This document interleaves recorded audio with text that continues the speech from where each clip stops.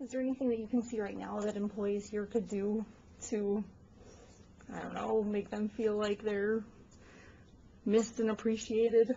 You know, um, that's a good thing, if I could say anything, you know, if, um, you have any time, just write a, write a quick letter, you know, just, how's it going, how's the weather, just the little stuff.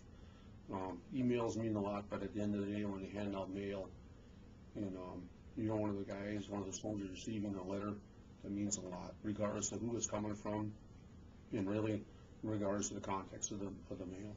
You know, once in a while, send a care package, just maybe a magazine or just articles from Basin Electric itself, or something that was interesting going on, you know, in, in, uh, in the state or the country. Just something to keep those guys, um, occupied, stuff to read. It just helps, a little stuff. Kind of boosts your morale at the end of the day. And they do share, you know, you take the care packages, they do share that with, with their other fellow soldiers.